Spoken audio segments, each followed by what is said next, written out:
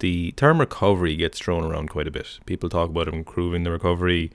They look for ways of getting better recovery, and very often they look at ways of measuring recovery. In recent years, we've seen a huge influx of monitoring devices that an athlete can wear on their wrists and quote unquote measure their recovery. People live and die by these values without realizing that it's simply not possible for these devices to measure recovery in any meaningful way. The problem with the data you will receive from these devices is that technically it's not wrong. It's recovery based off of the company's made up estimation. Their interpretation of the word based off of a few minorly useful data points. Recovery is multifaceted and no clear cut method exists to measure recovery. If there's no definitive way of saying what you need to do to measure what you're doing, then there's no wrong way of saying you're recovered, right? First of all, what do we even mean when we say we're recovered? Fully recovered means the individual is ready to perform a given task at 100% capacity.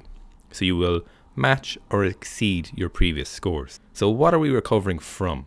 So, we're recovering from fatigue or fatigue from exercise in this particular scenario. There are three kinds of fatigue post training excitation, contraction, coupling failure, muscle damage, and central nervous system fatigue. Now, the interesting thing about all these is that they're essentially caused by the same thing a buildup of calcium ions. During the process of excitation, contraction, coupling, which essentially muscles contracting, calcium ions are released. As repeated contractions continue, the calcium ions, which are usually returned to the sarcoplasmic reticulum, fail to fully return. This buildup of calcium ions stimulates the release of proteases. These proteases damage the muscle fibers, which leads to, well, muscle fiber damage. And this then impairs their function temporarily, which leads to an inflammatory response, with the prevailing theory suggesting that this inflammation is responsible for central nervous system fatigue. So, what we've got is damaged muscles that can't contract, as well as a nervous system which won't allow optimal functioning. That's a pretty simplified version of a complex series of actions and reactions. What happens after this is what many of us are very interested in the recovery process. Dissipation of waste metabolites, reduction in inflammation, muscle damage repair, and restoration of muscle glycogen are all part of the recovery process. These processes are complex and vary depending on a multitude of factors such as the individual, their training age, actual age, genetics, nutrition, what kind of training was done, what time of day it was done at, the temperature before, during, and after training, and even how much effort they perceived they exerted during the training session. All of this sounds pretty complex, right?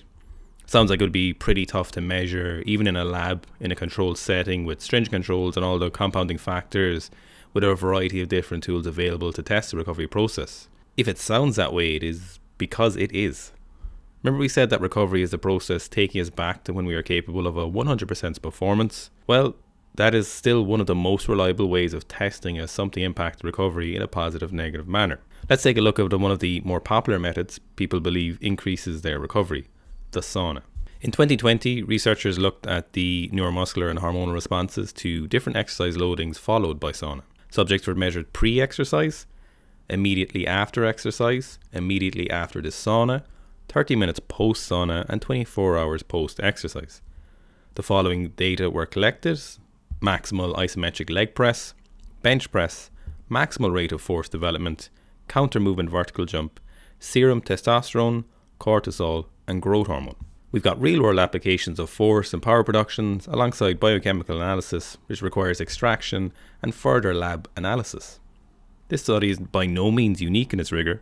You'll see the above all being very, very common methods of measuring the levels of fatigue from training. Anything less than these measurements would fall short of the accepted standard for fatigue analysis from training, while still only being a good estimation, not an exact estimation, of a subject's recovery state. Now let's look at what wristwatches measure. In general, it's three areas that you'll notice don't overlap with the lab based measurements heart rate variables, sleep, and general activity level. They will essentially record each of these then using a formula of their own design, input said variables into the formula, they now put a score of your quote unquote recovery. Maybe these variables are very useful indicators and we're getting close to approximations of your recovery, right? Well, the heart rate variables they use are general indicators of your current state, mainly resting heart rate and your heart rate variability score. HRV is a very contentious issue in sports science. The implication is that a greater HRV score, the more relaxed you are, aka your nervous system has calmed down. The resting heart rate then is used as a compounding factor to this. If both the HRV is large and the resting heart rate is low, you're likely in a recovery state. Again, I'm using bunny ears here. But that's the problem. It's only a potential indicator that recovery might be happening. Not what and how much recovery, but that you're potentially in a state of recovery. One could, for example, do a 5 minute cold plunge and change your HRV. Does this mean you're more recovered? Well, not from what we know of cold exposure and recovery. What about sleep? Well, sleep watches only guess how much sleep you're getting, based on your heart rate and activity. Low movements at night, but low heart rate is used as a grope in the proverbial dark at what you're doing right now.